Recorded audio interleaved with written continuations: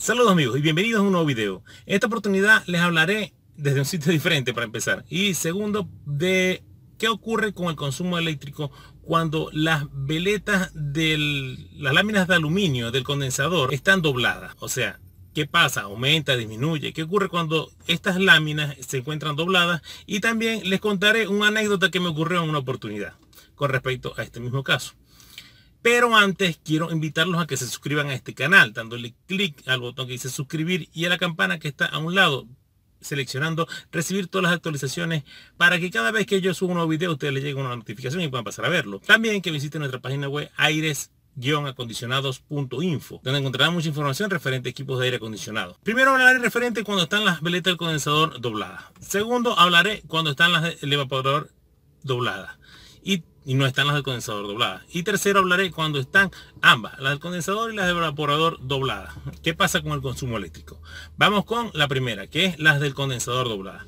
Cuando las veletas, las láminas de aluminio que tiene el condensador están dobladas, estas aumentan la presión en el lado de alta, haciendo que el compresor consuma más energía y por ende sube el consumo de eléctrico y el costo del recibo eléctrico.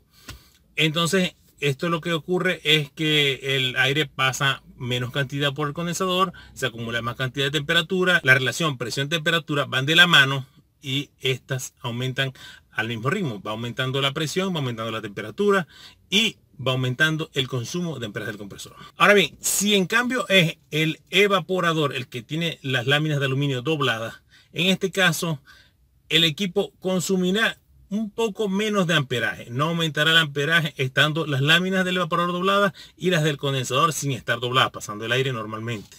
El amperaje bajará un poco. ¿Por qué? Porque la presión de baja será menor.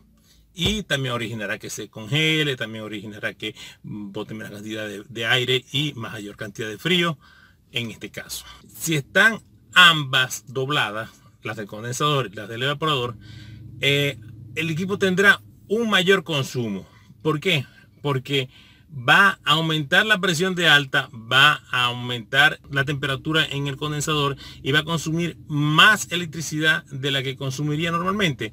Y lo que va a bajar en el evaporador, como está llegando el gas más caliente, no va a ser tanto, pero va a bajar un poco la temperatura del evaporador y esto hará que este se congele cuando están ambas ambas en eh, presiones, eh, o sea, ambos serpentines doblados. Ahora bien, el comentario del que les hablaba, es una oportunidad, a mí me tocó eh, recién entrando a un trabajo, era mi primer trabajo, era de ayudante y no fue el mecánico. Entonces me mandaron a la casa del dueño de la empresa a que el serpentín del condensador de un equipo tipo garrapata van pegados a la pared y son compactos pero van pegados a la pared. Bueno, el serpentín condensador lo tiene en la parte eh, de atrás, es cuadrado, y él soplaba el aire hacia, al frente del, donde estaba el equipo puesto. Y un niño tomó un palo de escoba o algo así y empezó a jugar al zorro y le empezó a hacer setas al condensador. Por último se fastidió a hacer las setas y empezó a doblarlo todo con el palo de escoba y a mí me llevaron para que lo peinara. Pero el detalle no estaba en que lo peinara no había problema. Yo llevé una navaja, llevé un peine, la navaja era porque estaba en algunas partes muy doblado, pero que tenía que peinarlo con el equipo encendido. O sea, no podían apagarlo porque del otro lado estaba el dueño de la empresa eh, haciendo ejercicio. Ya les dije, bueno, yo no voy a peinar el equipo hasta que no lo apaguen, porque me está pegando el calor de frente y al tener el serpentín doblado, el calor aumenta más y me estaba pegando todo el tiempo de frente. Yo tenía que estar poco a poco doblando el serpentín y la otra persona agarrando frío del otro lado y haciendo ejercicio. Yo decía, por Dios, si está haciendo ejercicio, que apague el aire. Si suda más, no importa. Pero yo aquí no estoy haciendo ejercicio, estoy trabajando y voy a tener que tener el aire de frente.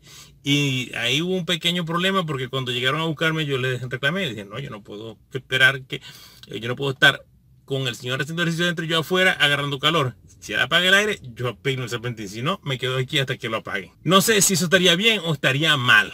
No sé si estaría mal de parte de ellos, no sé si estaría mal de parte mía, pero me pareció un abuso que me colocaran en un sitio donde obligatoriamente tenía que recibir el calor del aire a propósito por el simple hecho de que del otro lado había una persona recibiendo el frío. Eh, dejen en los comentarios qué les parece a ustedes, si estuvo bien o estuvo mal. Esa será la anécdota. Espero que se hayan suscrito al canal si no están suscritos. Le den like al video, lo compartan. Dejen en el comentario qué les pareció la anécdota y qué piensan ustedes al respecto. Eh, con respecto al consumo de electricidad, lo ideal para un equipo de aire acondicionado es mantenerlo eh, con su mantenimiento al día, que no estén tapados ni obstruidos los serpentines, ni condensador, ni evaporador, para que este trabaje de la mejor forma posible. Nos vemos en un próximo video. Hasta luego.